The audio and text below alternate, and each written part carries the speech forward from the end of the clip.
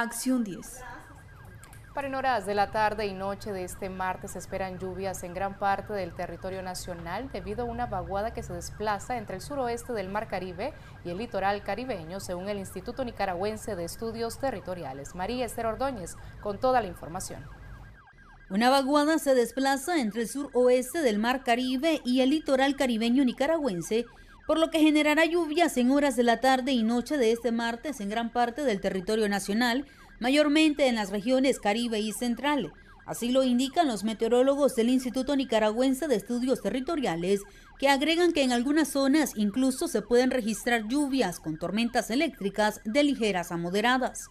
Por su parte, el Observatorio de Fenómenos Naturales OFENA señala que estos canales de baja presión también afectarán a algunos países de Centroamérica. Tenemos siempre la presencia de bajas presiones sobre el territorio de Centroamérica, principalmente en la parte norte de Honduras como en el Caribe de Centroamérica, debido a estos canales de baja presión. También la influencia de los frentes fríos está influyendo bastante sobre humedad y tenemos localizado un sistema de anticiclón sobre la parte del Golfo de México hacia el Golfo de Honduras, generando condiciones de debilitamiento y condiciones para Nicaragua. Se espera que este día tengamos alguna lluvia en horas de la mañana en la zona del Caribe hacia la zona central y de la zona central hacia la zona del Pacífico, lluvias con tormenta eléctrica para en hora de la tarde y parte de la noche. El INETER en su informe indica que la navegación en el Pacífico se mantiene estable, sin embargo, advierte a los propietarios de embarcaciones que navegan en el Caribe para que tomen las medidas de precaución necesarias debido a las condiciones climáticas adversas que existirán para esta semana.